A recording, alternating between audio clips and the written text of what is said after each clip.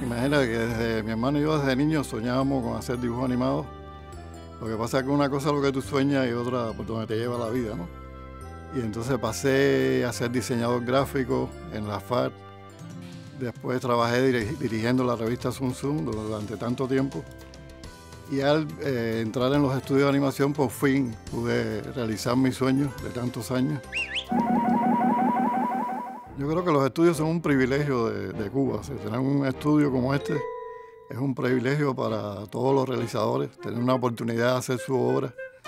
Y creo que esa es una de las cosas lindas, ¿no? Que uno trabajó y sigue trabajando aquí con gente muy, muy valiosa